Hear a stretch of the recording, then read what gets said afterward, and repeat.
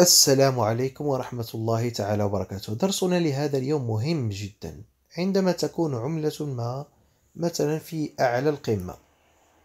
مثلا تراها في ذلك اليوم تلك العملة تصل مثلا ل باليوم عفوا في نفس اليوم مثلا الذي كان قبل ذلك تصل العملة ل 23 العملة تصل لصفر صفر صفر فاصلة ثلاثة وعشرين. وتجد أن تلك العملة وصلت مثلا لأدنى مستوياتها في 17 من 23 أو لا ندري 27 أم 23 من 23 و 517 تظن أن السعر رخيص جدا وتريد الشراء وأنت شبه متأكد أن السعر الذي تشتري به الآن هو أحسن سعر. فعلا العملية تكون جيدة نسبيا آه، طريقة جيدة لكن هناك استراتيجية مهمة افعلها في حياتك تعلم تطبيقها. لا تشتري مئة بالمئة من رأس مالك عندما تصل 17 37 سأقول لك لماذا. كيف نفعل الطريقة؟ انظر. هنا ستجد ال trade history هذا اسمه buy buy buy buy يعني شراء شراء شراء. اشتريت العملة ب 17 69 اشتريت عفوا العملة ب 17 73 ثم اشتريتها ب 17 69 ثم نزلت لي 17 51 الآن كم العملة واصلة؟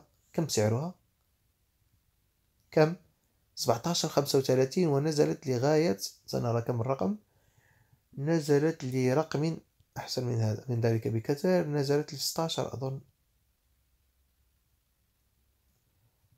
آه لو 17 28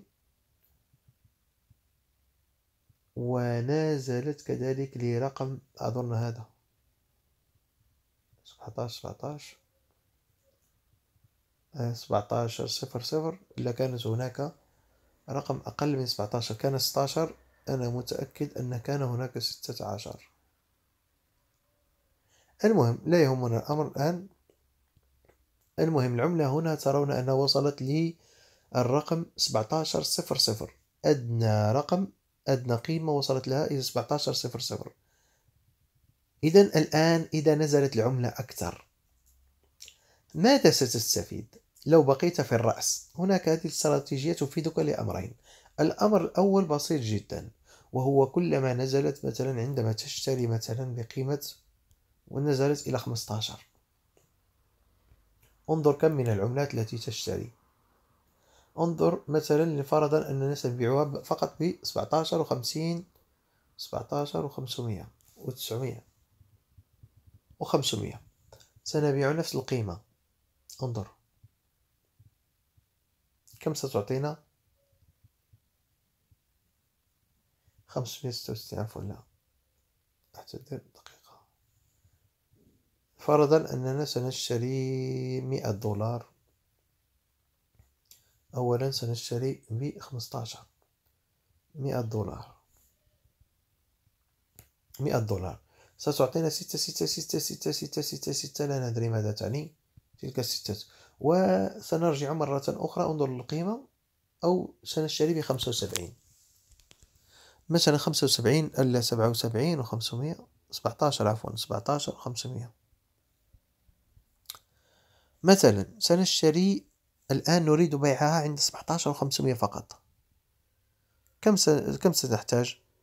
ستعطينا 116 دولار إذا ضيعت على نفسك 16 دولار هباء منثورا لأن 16 دولار زائد عندما تصعد مثلا العملة مثلا تتذكر شرينا بمئة دولار عندما تصعد لأربعة وعشرين تريد بيعها بأربعة وعشرين تصبح مئة وتسعة وخمسين دولار وتربح مئة و مئة و مئة وأربعة وأربعين مئة وأربعة وثلاثين دولار زائد ستاشر دولار الذي اشتريت بأدنى أدنى قيمة. لهذا العملية مهمة جدا. كلما اشتريت بنسبة دنيوية كلما ربحت. هذه القصة الأولى وإلى هنا أظن أن الأمر أصبح واضح جدا. هو لا تشتري كل رصيدك مرة واحدة دفعة واحدة. هذه القاعدة سنستعملها في درس قادم لشيء آخر وهو الإنقاذ من رأس الجبل. الآن نكتفي بهذا الدرس. هو في أربع دقائق لم يكن درس كبير جدا. والآن فهمتم القصة 1754 كيف تشتري؟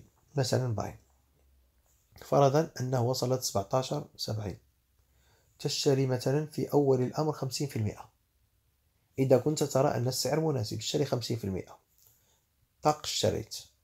كم يبقى لنا؟ 50% مثلا وصلت ل 17 صفر صفر. كم تشتري؟ اشتري مرة أخرى 25 بالمئة. باي. لأنك الحين تشتري بأسعار أرخص. مثلا الآن وصلت ل 16 65 مثلا كم تشتري؟ اشتري 50% من القيمة المتبقية.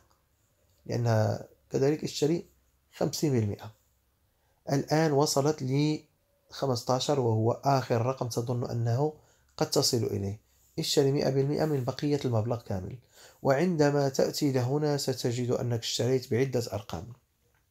اشتريت ب 15 15 و 50 17 17 و 300 وهكذا تزيد نسبة أرباحك. وكذلك هذه العملية سنحتاجها لعملية إنقاذ مستقبلية. قد الخطأ الذي يقع فيه جميع المبتدئين المتداولين. وهو وهناك إصلاح لهذا الخطأ بنفس القاعدة. لهذا لا أريد أن أطيل عليكم درس اليوم. شكرا لكم. والسلام عليكم ورحمة الله تعالى وبركاته.